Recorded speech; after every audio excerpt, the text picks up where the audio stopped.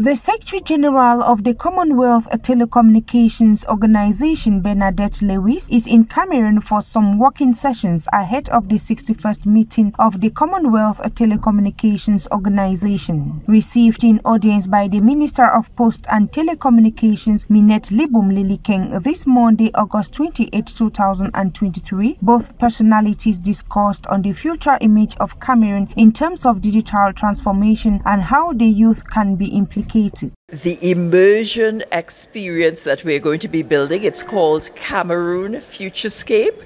where we will not be talking about the technology, but you'd have the opportunity to experience it. Yes, because you sometimes, you know, in talking tech technological things, you know, people can't